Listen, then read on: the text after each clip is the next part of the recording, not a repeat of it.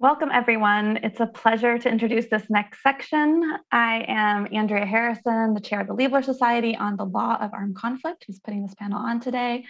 Um, the, the panel is uh, entitled Civilian Harm Mitigation in Urban Areas, a Wargaming Exercise. Um, last year, as many of you know, Lieber hosted a series of webinars on civilian harm mitigation, um, all of which are still available on ASIL's YouTube page. Um, but we thought that we would change things up for the annual meetings and uh, provide you with a, an example of a wargaming exercise in which um, we can demonstrate how the law uh, is actually applied in practice. Um, the panelists represent many of our various uh, constituents in the Lieber Society, including US military lawyers, foreign military lawyers, and civil society. Um, and so we tried to make this as realistic as possible, but of course, um, within the parameters of a, a, remote Zoom session.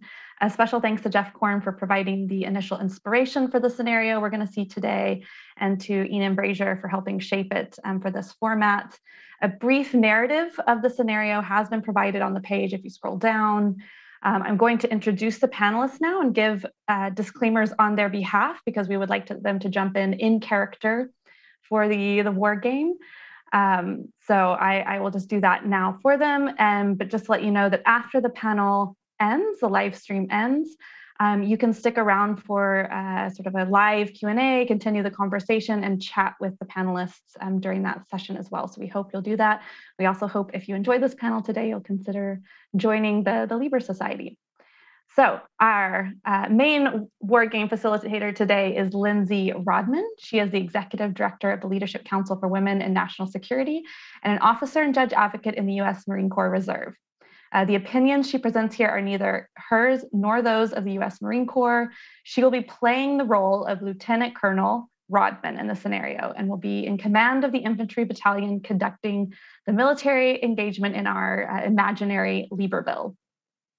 Ian Brazier serves as an assistant general counsel at the U.S. Department of Homeland Security, and he formerly served as a Marine Corps judge advocate and legal advisor within the International Committee of the Red Cross. Ian will be playing the role of Major Brazier, the U.S. Marine Corps legal advisor deployed to Lieberville to advise Lieutenant Colonel Rodman regarding, regarding U.S. legal obligations. Um, our final military uh, participant is Squadron Leader Kieran Tinkler, Tinkler apologies, um, he is a legal officer with the Royal Air Force and currently a military professor at the Stockton Center for International Law at the U.S. Naval War College. Any views expressed by Squadron Leader Tinkler are offered in his personal capacity and do not represent those of the Royal Air Force, the UK Ministry of Defence, or the UK government. Squadron Leader Tinkler will be playing the role of the UK legal advisor, and he will be responsible for making sure the operation respects any legal obligations of UK coalition forces providing artillery and air force support to US forces during this operation in Lieberville. Andrea, Andrea Prasow is the Deputy Washington Director at Human Rights Watch, and she will be playing the part of herself uh, at the Human Rights Watch uh, research as a human rights researcher and advocate, sorry about that, on the ground in Lieberville. Mark Linning will be joining her as the other civil society member. He is a senior protection advisor at the Center for the Protection of Civilians in Armed Conflict, CIVIC. Um, prior to joining CIVIC, he was a delegate of the International Committee of the Red Cross, and Mark will be playing himself as a um, the senior advisor uh, at CIVIC. So without further ado, I'm going to hand it over to Lieutenant Colonel Rodman. All right, good afternoon. Major Brazier and Squadron Leader Tinkler. As you know, we will attack the enemy in southern Lieberville in the next 48 hours. I have really benefited from our great legal discussions throughout our battalion's deployment, and this upcoming mission is of critical importance. I'd like you to join me during my meeting with a few of the humanitarian organizations to get their thoughts about the humanitarian challenges they see as we push into southern Lieberville. I'm fairly certain everyone knows this attack is coming, as the southern part of the city is one of the last enemy holdouts. I'm discussing the humanitarian aspects of the attack broadly. And of course, we're going to keep the uh, precise operational details of the attack out of the discussion to protect our operational security. Once the humanitarian representatives leave, let's do a stay behind. I want to get your final legal guidance on the attack, and I'd also like to get your thoughts on their suggestions for our final planning. So before they join us, let me take a minute and update you from this morning's briefing. The enemy has about 150 fighters located in defensive positions. Most of the buildings in the city are two to four stories constructed of concrete. The enemy has transformed numerous buildings into strong points, and intelligence indicates that the enemy has prevented civilians from evacuating, And based on past practice, the enemy does not wear uniforms and will intermingle with civilians in an effort to shield themselves from attack. The enemy is capable of reinforcing their forces with units located south of the city. They utilize the main bridge and road transportation on the largest road that runs through the area. My plan is to use Company A as our battalion's main effort for this attack. I want to clear the enemy as rapidly as possible and cut off all ingress and egress routes in the southern portion of the city to prevent enemy withdrawal or reinforcement. To set these conditions, I plan to in- initiate two simultaneous actions. As Company A approaches the buildings the enemy has fortified, I will initiate an attack with mortars, artillery, and air support against the enemy strong points in the city. This is a shock and awe effort to hold them in place and allow our company to advance. When the company gets close enough, I will cease the mortar, artillery, and airstrikes so soldiers can locate, close with, and destroy the enemy forces. At the same time, the mortars, artillery, and air support begin in the city. I also intend to destroy the main bridge with artillery and airstrikes. I want road traffic into and out of the southern portion of the city shut off. This will ensure the enemy is cut off from reinforcement from their forces to the south and prevent the enemy from escaping. Not crazy about taking out the bridge, but I'm not sure I like our other alternatives. Humanitarian aid organizations have indicated that they are prepared to enter Lieberville once it's cleared to provide humanitarian assistance, but they do not have any capability to rebuild the bridge. The only alternative to taking it out is to request a platoon of armored vehicles from 2nd Battalion, who, as you know, is currently engaged in ongoing operations um, and asking them to encircle the bridge to prevent passage. I'm not inclined to ask them for support. Doing so will degrade current operations and subject Company A to the risk of enemy attack from the south and force the company to sort out enemy personnel intermingled with civilians trying to flee the village. So with that briefing, do you all have any questions before we bring in the humanitarians? All right. Great. Thank you, gentlemen. All right, let's bring in uh, Human Rights Watch and Civic and get their thoughts. They're close to the civilian population in Lieberville and may have some information that we don't have. Mark and Andrea, can you hear me all right? Yes, we can. Good morning, uh, Lieutenant Colonel. How are you? Great, great. It's really great to see you, and thanks so much for coming. Oh, thanks for thank you very much for for agreeing to see us. Um, I think it's uh, it's only 48 hours before this planned attack, and of course, in an ideal scenario, we have uh, have had a would have had more opportunities to talk already. But it's really appreciated you taking the time. Um, as you know, Civic, Human Rights Watch, ICRC, and, the, and other humanitarian organizations have been uh, working in Lieberville, um, have been looking at protection issues, working directly also with the civilian population and civil society. Um, so obviously, um, we are uh, really trying to see um, how best uh, can they be protected. And so this is a great opportunity to do so.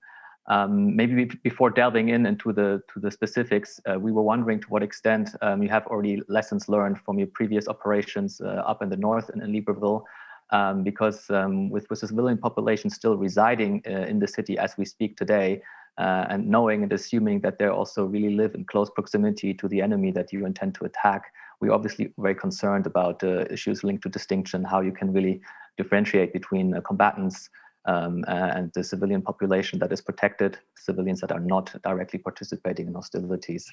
Um, so maybe you can tell us a little bit about how how you have maybe reached out already to the civilian population, how you have been able to incorporate um, those lessons learned into your planning, into your SOPs, rules of engagement, uh, etc. Because um, obviously there's a lot to, to learn from those civilians as well. Um, we also understand um, that you have maybe other strategic objectives um, that we are so far not aware of.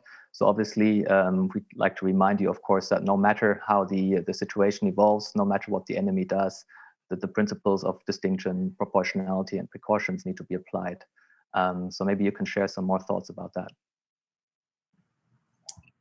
Sure, happy to do so. Obviously, much of our military planning is classified, um, but we still really appreciate your feedback and want this to be a really constructive dialogue.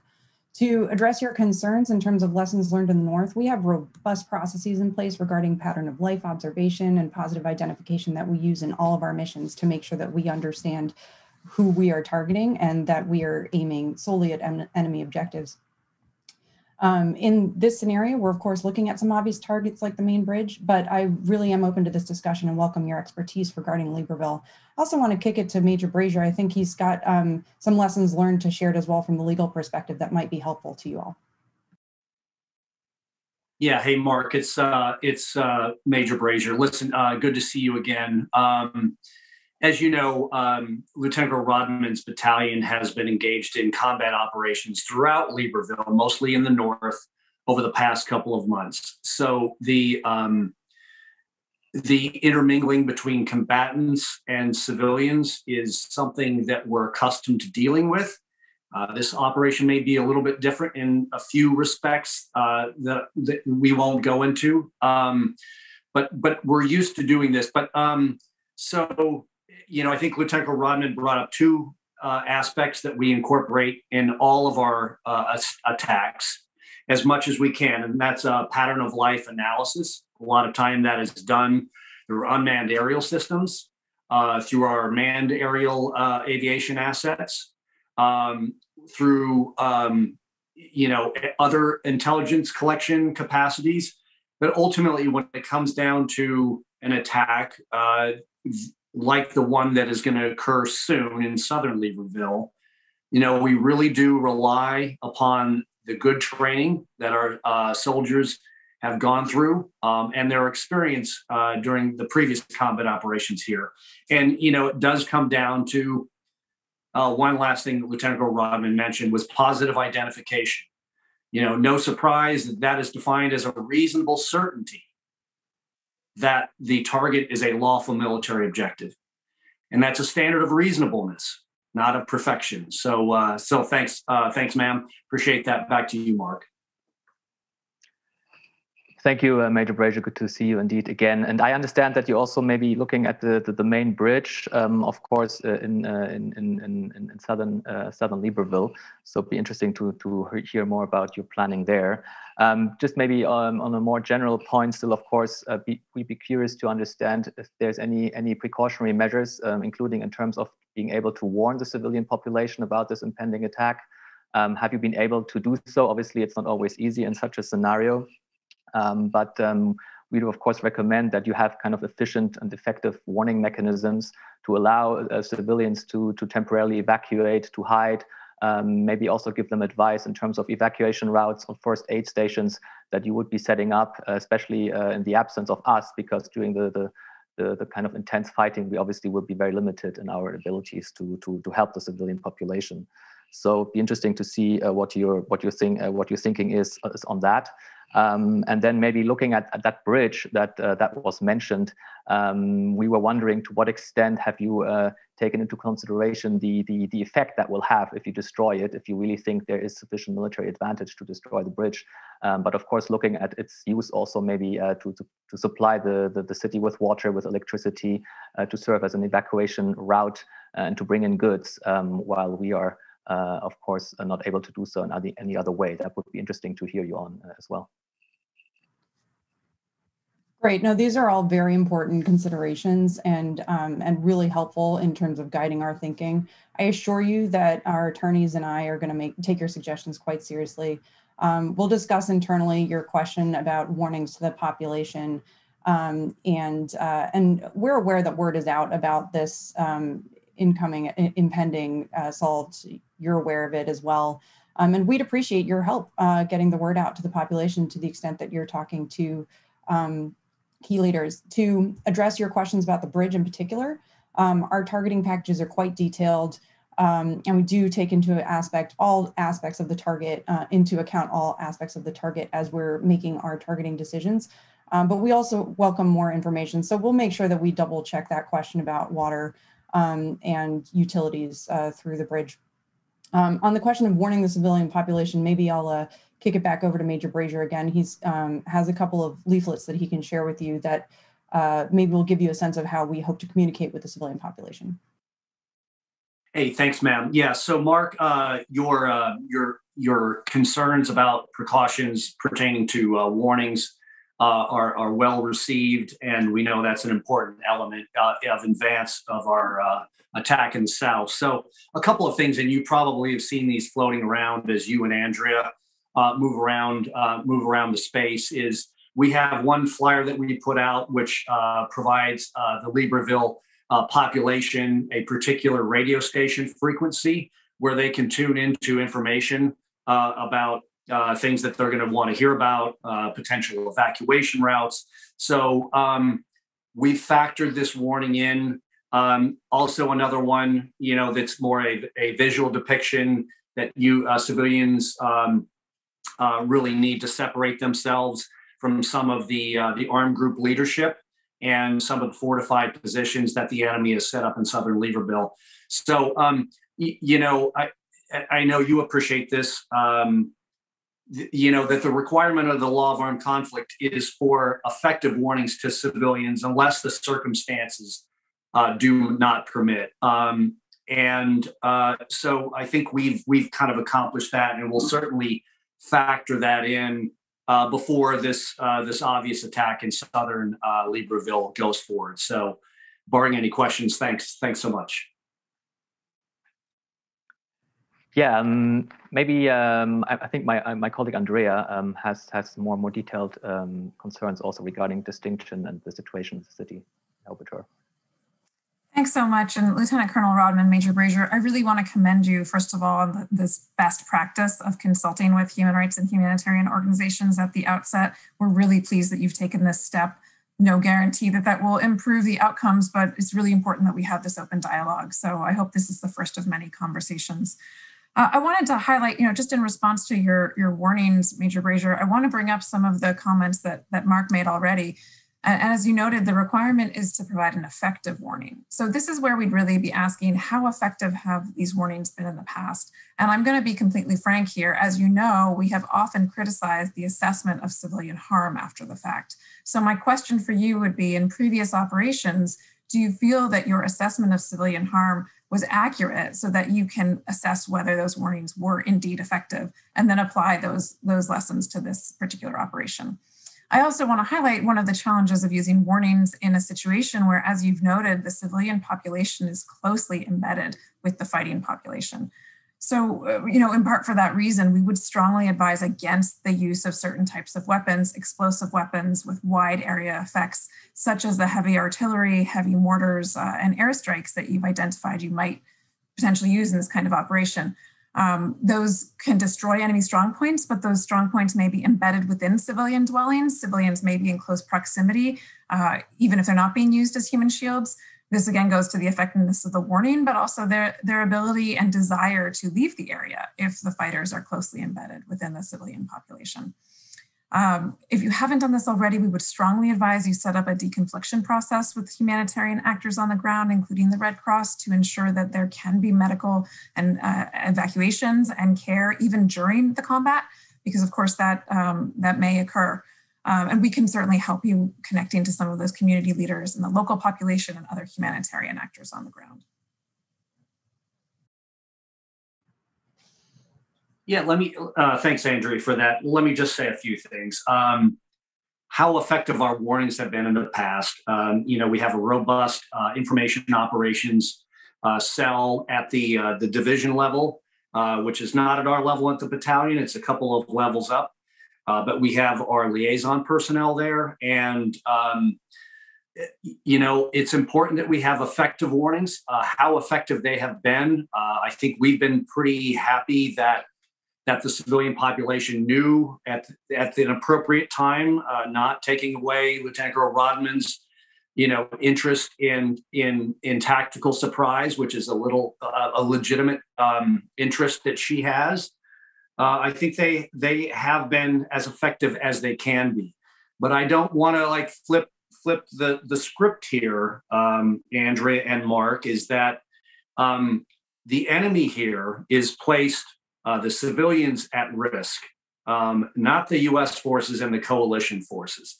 And and uh, the law of armed conflict um, assigns certain obligations to every uh, organ, you know, every fighting unit.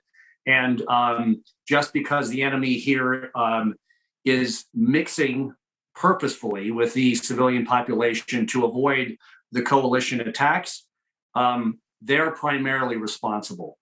And we certainly factor that in, and their irresponsibility, their violations of the law of armed conflict do not absolve us of our obligations to, to make sure that we are distinguishing civilians from combatants and their uh, respective property uh, using proportionality, which, uh, as you know, is an excessive really an excessive force requirement. And then uh, third, a lot of we've been talking about is we, we painstakingly go through a lot of the precautions. So I, I just offer that, and thanks for your question.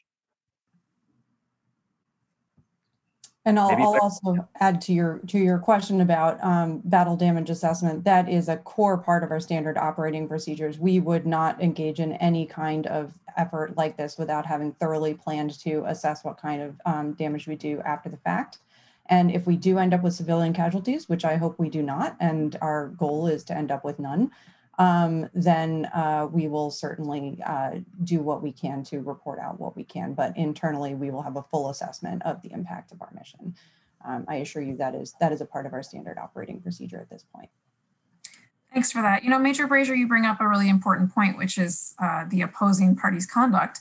And to the extent possible, we have conversations with, with all warring parties and bring up their own obligations. So while they may be violating the laws of war, um, that's a conversation for, for a different day. We're here to talk about the obligations that, that your forces have. And you brought up the issue of distinction, which is really an essential one in this environment, as you know. Um, this is a, a densely populated urban environment where it may be quite difficult for your forces to distinguish between civilians and combatants. There are many people who are supportive of the fighting forces, but are not actually lawful targets. Some people may be those prov- proverbial farmers by day and fighters by night, uh, while others are actually engaged in direct participation in hostilities. We recognize it may be very difficult to determine, particularly in the heat of battle, who is whom, um, but we really urge you to ensure that you are making the appropriate assessment and that you are only targeting civilians who might be directly participating in hostilities. If they have stopped participating, if they have you know, hung up their weapons and, and gone home, and if they're not performing a continuous combat function, they are not targetable. And we recognize how difficult it will be, and the targeting actions are really challenging.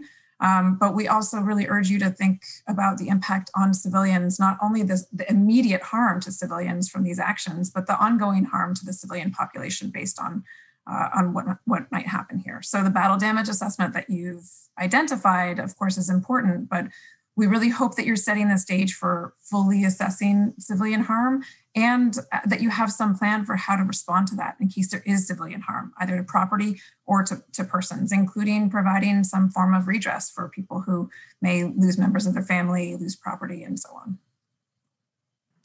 Yeah, uh, either Major Brazier or Squadron Leader Tinkler, uh, do you want to talk through just for a minute our ex gratia payment plan? Because um, that's something that we've been, I think, pretty uh, have well established at this point in terms of our standard uh, ways of ensuring that we um, compensate the local population whenever we do have um, a situation where uh, our our uh, efforts have um, negatively impacted them financially. Yeah, ma'am, I'm happy to address that real uh, real quickly. Um, and and certainly no surprise to Andrea and Mark uh, that we do have uh, teams uh, that follow in behind an infantry attack, and um, it's you know really a, a, a two way street. Is one we're looking uh, looking to find uh, those uh, civilians that have been affected um, by the combat operations um, and determine the, the level of harm.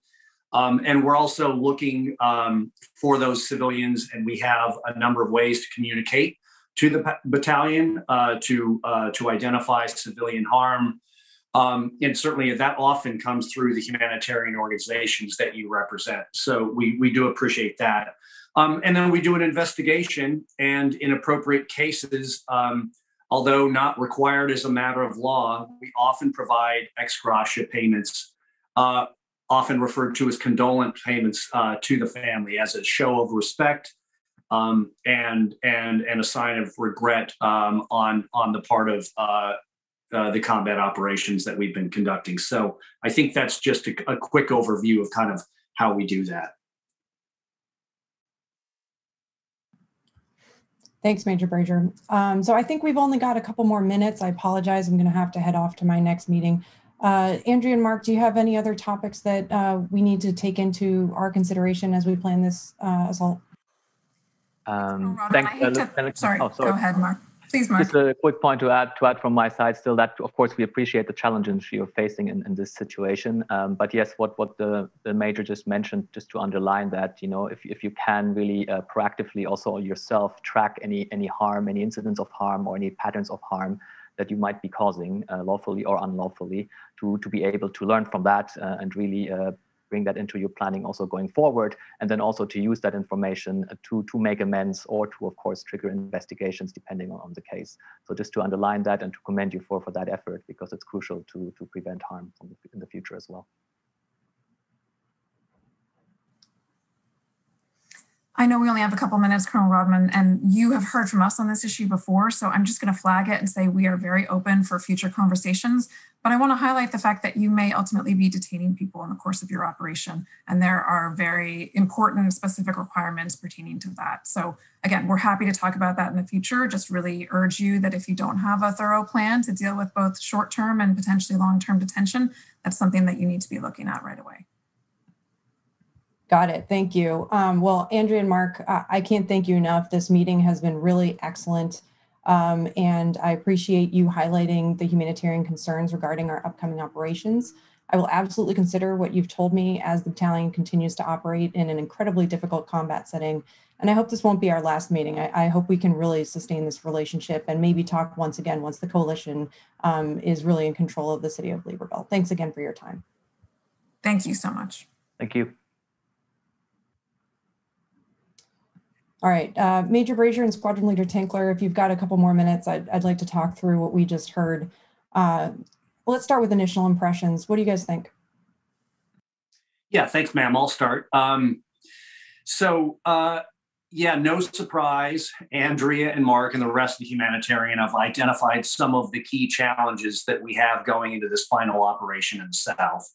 Um, I do want to note that I I I, I think we benefit um, from continuing our dialogue with with Andrea and Mark and the other organizations on the battlefield because um, you know it's it's helpful to remember that a lot of these organizations have been here in Lieberville since the last U.S. intervention in 1998, and they bring a ton of uh, ton of knowledge.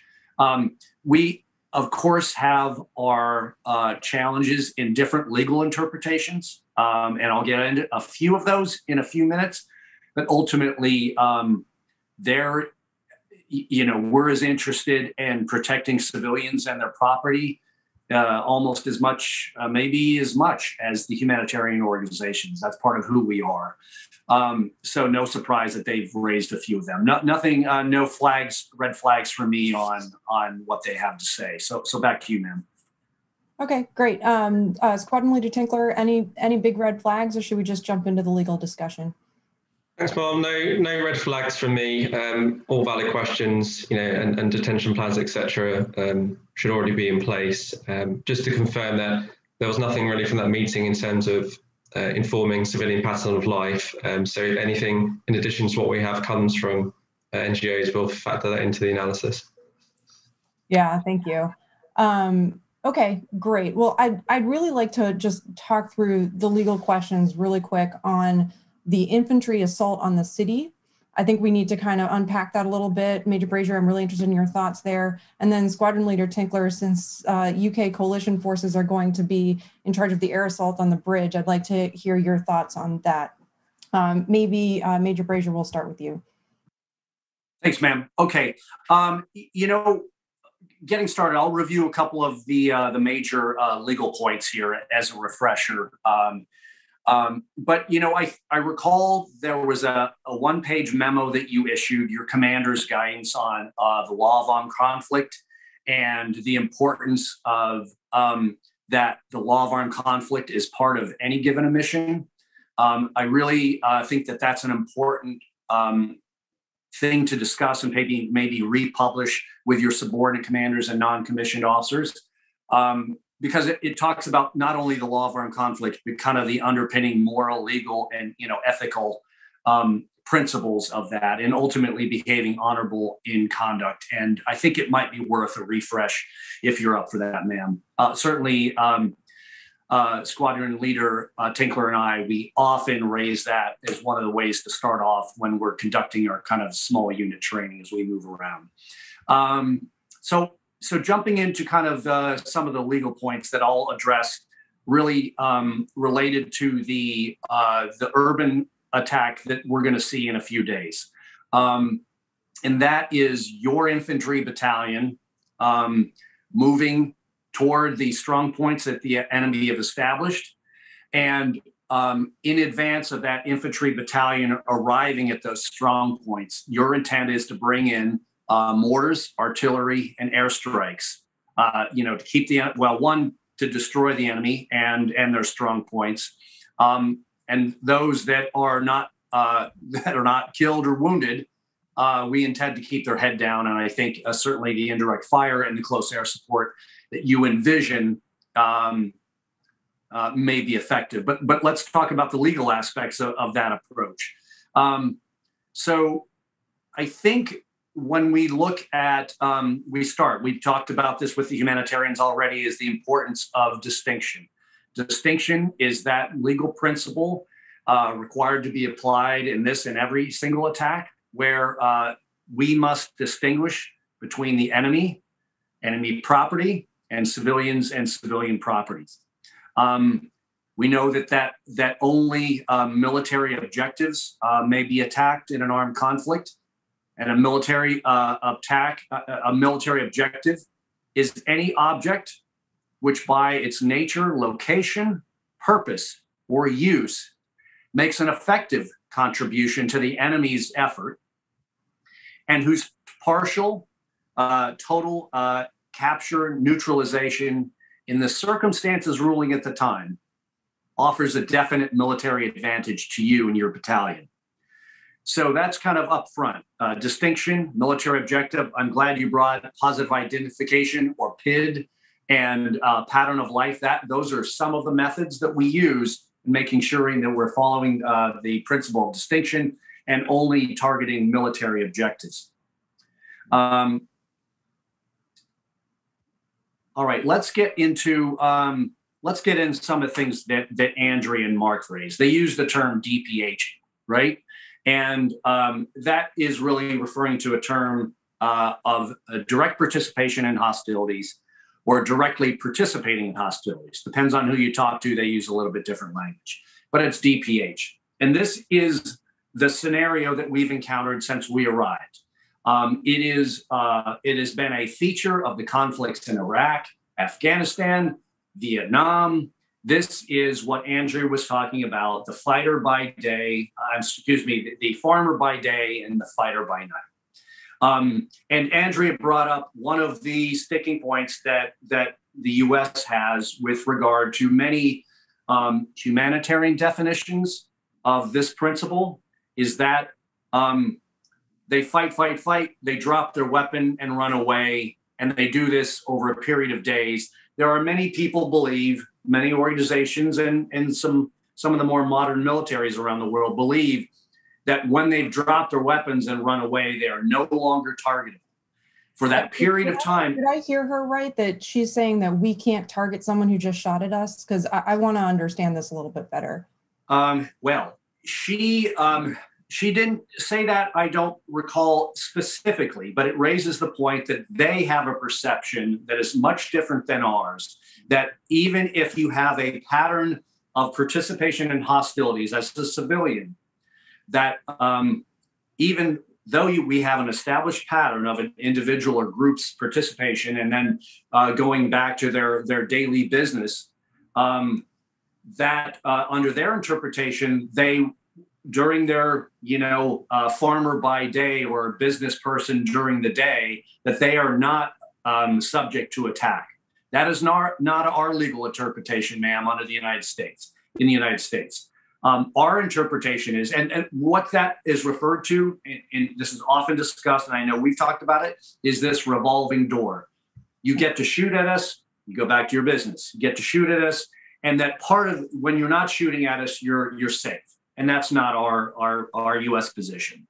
Um, for uh, when we generally establish a pattern of uh, civilians participating in hostilities, they have um, either uh, we would consider them they have joined the non-state armed group that is resident uh, in southern uh, Lieberville, um, or that they have behaved in such a way over a period of time that it's not isolated instances, and that they are targetable, even though they're not instant simultaneously uh, attacking us at a particular time. So, so that's our our interpretation. The U.S. doesn't buy into the revolving door, um, and that's important.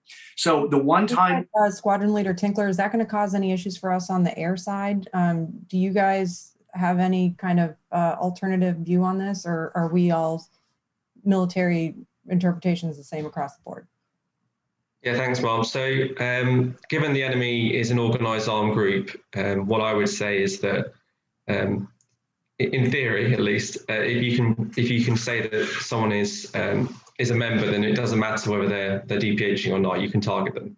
Um, difficulty in in a, in a dynamic environment like where we're entering is how do you determine that? Um, and often you'll be able to determine that by if someone is actually DPHing. Um, so if we think that someone's a member of an organised armed group, it doesn't matter if they're DPHing or not. Um, so that's the kind of bottom line. In terms of what was an issue from an air support perspective, uh, if, we, if we're targeting a building based on its its function and who's in there, um, then the distinction issue is being addressed. It will be a question of potentially a question of what civilian harm is occurring. Um, but but that's the kind of the, the general overview. Okay, thank you. That, that's a big help. Uh, Major Brazier, please continue.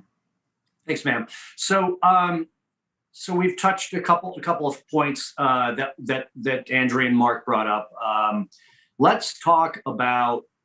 Um, I think the greatest opportunity, as you described it, to kill the enemy through the use of kind of the preparatory mortars, uh, artillery, and uh, the airstrikes on the strong points in southern Lieberville, um, that that provides you, as you described, the greatest opportunity to kill and degrade the enemy, and to, to really, you know, we know that that Lieberville has been a tough fight. We've been fighting in the north. This is the last pocket, so um, we appreciate how important this is, um, and you've you've articulated your commander's intent to use these this indirect fire and the close air support, speed, shock, and surprise to take the enemy uh, off guard um, and really come in with some, I think, shock and law awe you you talked about uh, earlier. Um, that also that approach maybe also present the greatest risk to the civilians that are in the adjacent buildings and perhaps in the very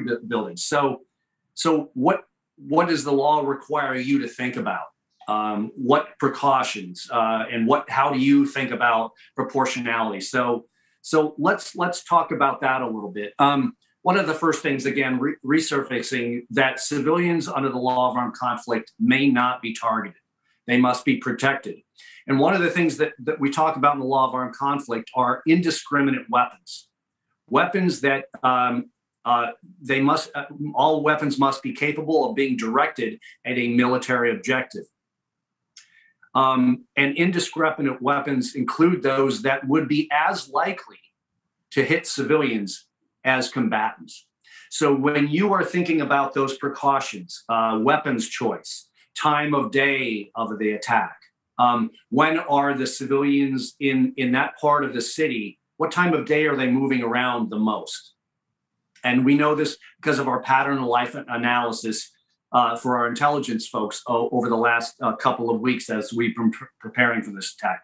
All of those things that you are required to think about and factor in. So um, when we talk about uh, indiscriminate weapons, and noting that the strong points are concrete buildings, two to four stories, and that there are a lot of adjacent buildings that are clearly not strong points, and from what we can tell, are not occupied by the, the enemy. They are occupied by the civilian population. Um, so, you know, if we look at real quickly, um, we know we have 81 millimeter mortars. We have uh, four uh, four mortar tubes there, um, and that's pretty helpful. And we certainly control those at your level. They're organic to your battalion. Above you, uh, we know that UK provides artillery and air support uh, through the capable, um, you know, legal review uh, provided by uh, Squadron Leader Tinkler.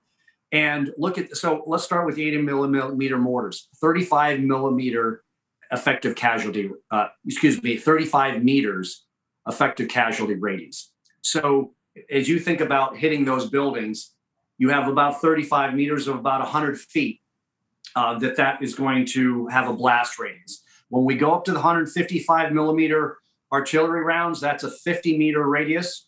And then when we get into some of the heavier um, aviation fires, some of those uh, bombs that may be potentially used um, could have, you know, um, blast radius of 200 to 400 meters.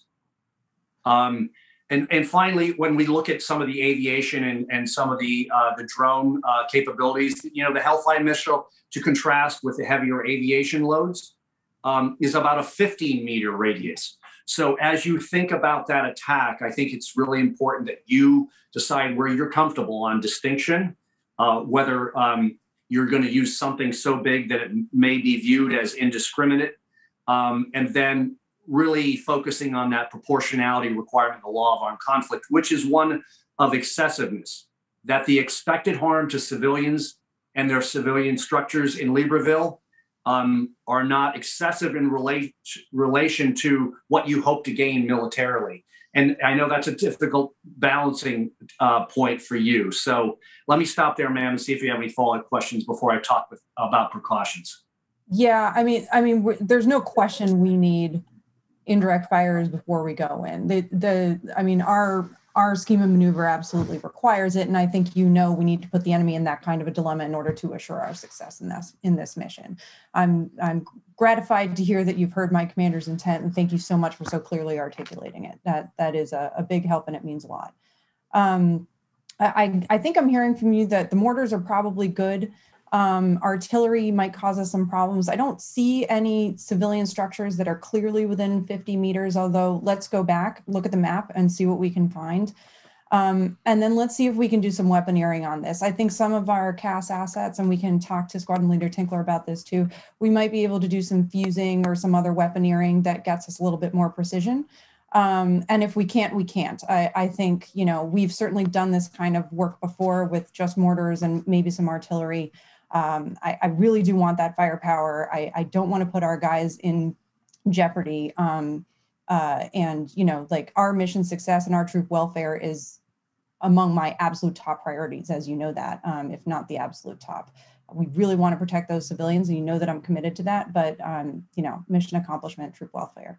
So um, so maybe after this, uh, we'll we'll have to maybe head over to the G3 and, and talk to some of the fires guys and take a look at some of our weapons options and see see what kind of real options are on the table. So thanks for flagging that, uh, Major Brazier, and uh, I'm hopeful we can come up with a solution that gives us the firepower we need, but um, but also takes into account some of your considerations. Yeah, thanks, ma'am. Um, I'm, I'm about done and uh, ready for uh, Tinkler's discussion of the bridge. But last couple things we, we, I wanted to talk about. We've talked about distinction, proportionality, um, and uh, but some of the precautions that have already been built into some of our discussion.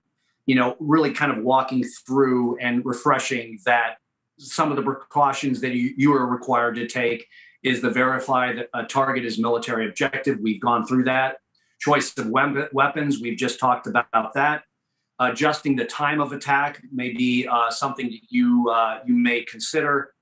Um, one of the things we haven't talked about is continuous evaluation of attack. This has been part of that dialogue, but also um, your your requirement uh, to cancel or suspend an attack if some of the criteria that we've talked about are not met.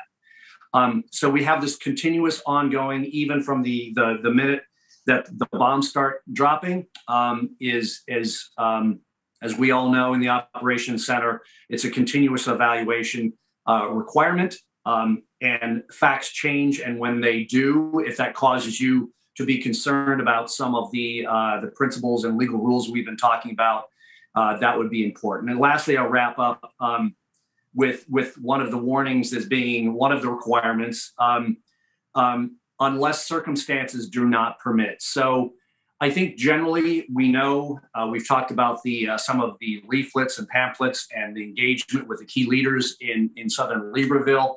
So I think you know from my perspective we've done a really good job with the warnings. Um, you may consider uh, a final warning before the attack happens, but if you know the surprise is really really uh, paramount to you when you kick off this assault, the law does not require you to surrender surprise uh, in order to provide an effective warning to the civilian population. Um, so I think that's it. And that stitches a lot of our um, legal requirements together. And unless you have any questions, ma'am, I'll, uh, I'll uh, turn it over to the next portion of the brief. All right. Yeah, no, I, I mean, in terms of that continuous evaluation, Major Brazier, I think you know, once we kick off, I'm going to need you in the COC because that's going to be something I'm going to need your help with. You need, uh, you know, I, I want that flag if, if we need to be considering something that I'm not seeing. Um, of course, I'm not interested in canceling this attack we don't have to, but we'll do the right thing if we've got to do the right thing. Um, and, uh, and, you know, I, I'm hearing also that maybe we need to go talk to our info ops folks and just understand a little bit better about the kinds of warnings that we've been giving the civilian population thus far. And if we can thread that needle, making sure that we don't ruin the ultimate surprise of the attack. But I, I think folks know something's coming. So we can double down on that a little bit and make sure we get the message out that it'd be wise to clear the area. Um, all right. Uh, thank you, Major Brazier. Uh, Squadron Leader Tinkler, um, maybe we should turn to the bridge with the time that we've got left before um, uh, before we need to jet out and uh, get your thoughts on um, the close air support option that we have from the UK for that effort. Sure, thanks, Bob. So in terms of the bridge, there, there are three main issues, uh, as already mentioned uh, previously, distinction, precautions, proportionality, um, and, and in, in that order. So focusing first on distinction, um, the question is, is this a military objective? And Ian set out the test. Now, the, the bridge isn't currently being used by the enemy, so the, the, use, the use criterion is irrelevant here. So it, by nature, location, or purpose, um, does this bridge effectively contribute to military action? Um, I don't take the position that by nature this bridge would um, would be military objective, but that, that is not an unreasonable position to take if you've previously had that advice from your, your US military personnel. Um, what I'd like to check with you is that um, my understanding currently is that the enemy uh, may use the bridge. Do we have any further information on, on how likely that, that is? I'm making that assessment based on my uh, on you know us and and our planners have looked at this question and it is the enemy's most likely course of action the enemy's been in these positions for a while so i don't know that we've seen them necessarily running south but that's where we want to push them so um so, uh, you know, I, I don't know that for sure, but uh, it is my 99% guess about where they might go. And certainly because of the way that we're going to be moving into the city, I'm not sure where else they could possibly egress to. And if we're going to make this an effective assault, then we need to remove that option. Yeah, sure. That I mean that make, makes sense to me. It's always useful to get it confirmed by a, by a senior officer. So, um, based on that assessment, I think it's a reasonable determination that this is a military objective by by either purpose or location. Um, clearly, denying that that bridge would effectively, um, you know, that bridge would effectively contribute to to the enemy. Uh, in terms of definite military advantage, that is something that can be for the US or the UK. So we're in a coalition operation. It's not restricted to, to one or the other. So fairly comfortable that the bridge is a, something that can be struck subject to the other rules on targeting. So then looking at precautions in attack, the first thing just to, to highlight to you, Mom, uh, we've done a bit of due diligence. and this bridge isn't, for example, a, a culturally significant bridge, uh, which would give rise to special protection um, in terms of you know precautions and verification of target. Um, one of the big issues here is, is the kind of choice of means and methods. So um, I know you talked previously about the potential to use um, forces, you know, over in, in another city. Um, so just to be clear, precautions in attack require you to do what's um, reasonably practicable or feasible. Um, so my understanding is that if you were to try and bring forces over, uh, friendly forces uh, from a different battalion over to control the bridge as opposed to destroy the bridge, then that would have a, a quite harmful effect on ops. Could you just confirm that to me? That'd be useful. Yeah, I mean, Second Battalion has armored vehicles, um, and we could make the ask, but with 48 hours to go, and knowing, I mean, you you guys are aware of the kinetics that they're engaging in, in, in just the next town over. I don't think it's going to be a reasonable request, and I really am I'm not inclined to degrade our military effectiveness one town over um, just to facilitate an option here uh, I mean, if you tell me it's a legal requirement, then we'll look into it. But if we've got some other options, I think I'd prefer to look there first. It, it, it's not a legal requirement. So for feasibility, um, as interpreted uh, by by the US, by the UK, etc. Uh, that doesn't require you to forego a military advantage. Uh, you just have to do what's feasible to, to minimize harm. So, so that wouldn't require you to move forces, certainly in these circumstances, that's quite clear.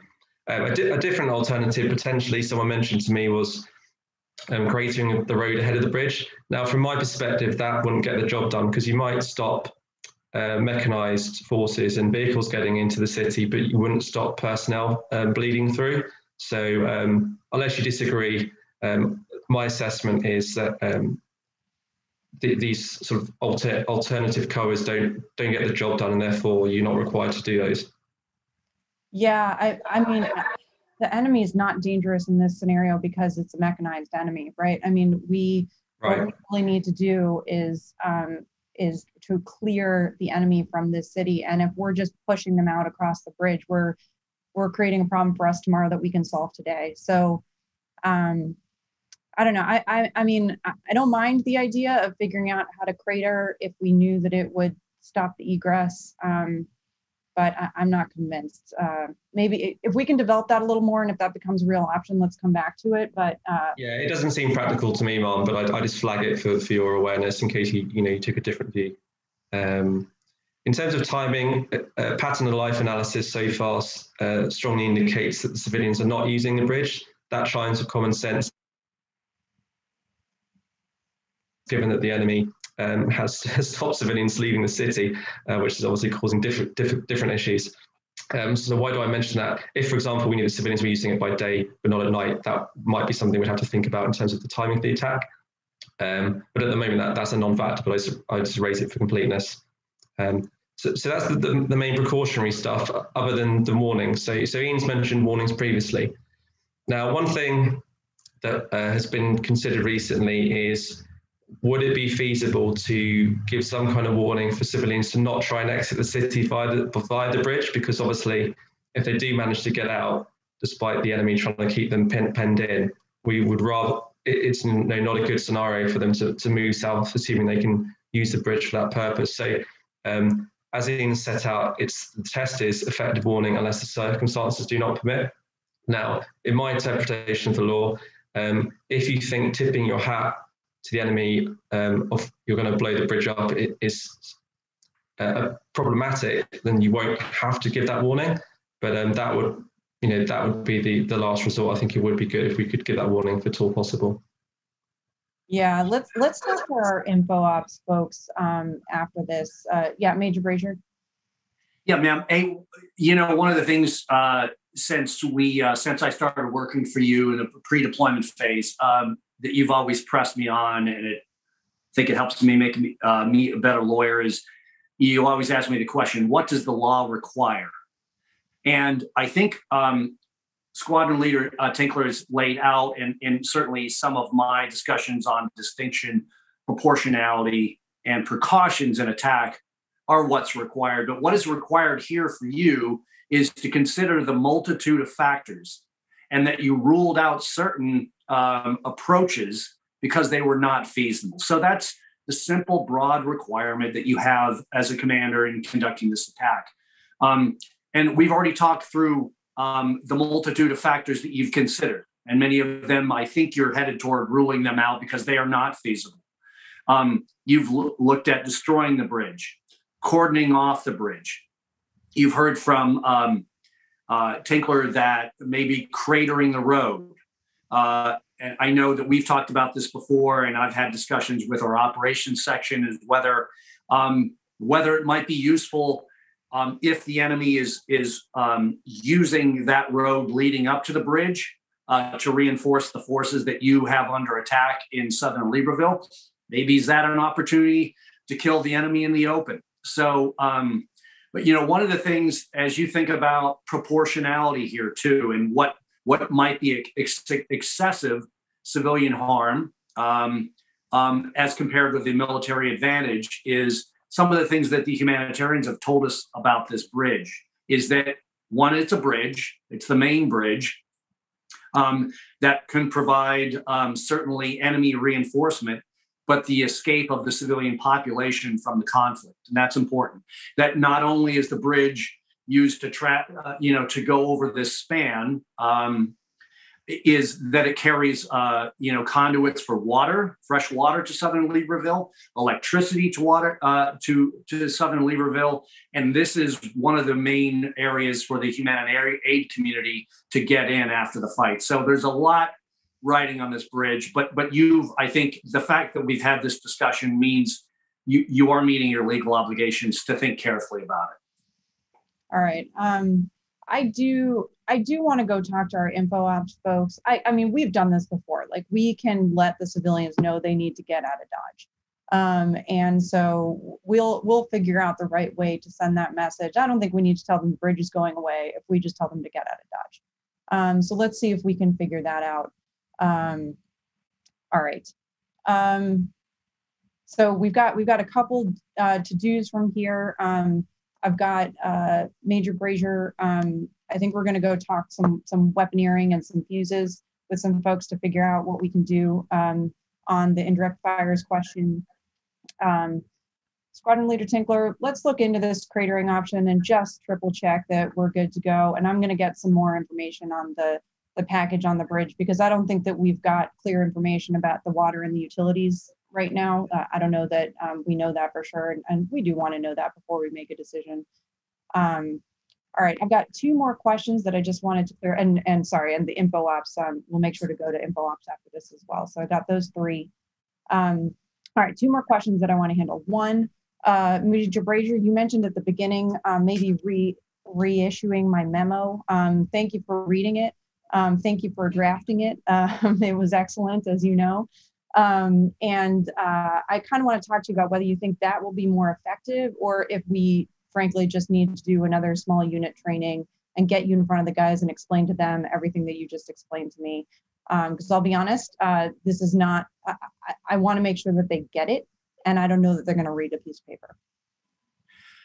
Well, ma'am, haven't been in this situation before. When I stand in front of our uh, our soldiers, um, it is a great deal different than when you stand in front of them. So to the extent that you can circulate throughout all the units and and talk with everybody about uh, how important the honorable uh, behavior is in this this what we anticipate will be our final attack for this deployment and how important it is to protect the civilians um, and how important it is to to kill the enemy and, and balance those factors that the law really talks about. So um, you could use a combination of methods, ma'am. Uh, that I think you know you could reissue the memo.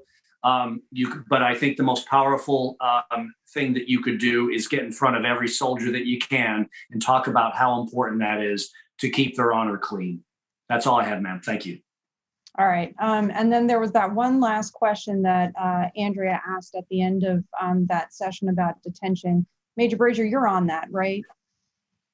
Yes, ma'am. Uh, you know, we're, you know, obviously the operations folks are, are leading the detention uh, planning, um, and I'm certainly plugged into that effort. But uh, you, know, I think uh, our detention plan is fairly mature. Okay, I'm, I'm gonna want you to make sure that that stays within our legal parameters, and if you can take charge of making sure our detention operations are fully planned, that'd be great. Um, all right, uh, I really appreciate this. Thank you very much. I think we've got our due outs from here. Um, we've got about 48 hours to go, and I think we can get a successful mission accomplished. So thank you, gentlemen, for your advice and your time, and uh, see you soon. Out. Thank you, ma'am.